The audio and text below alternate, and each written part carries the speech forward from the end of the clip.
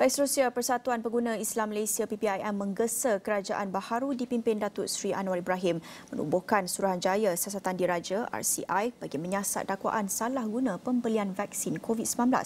Ketua aktivis PPIM Datuk Nazim Johan berkata pihaknya menerima beberapa aduan berkaitan jumlah pembelian dan perbelanjaan menangani pandemik yang agak tinggi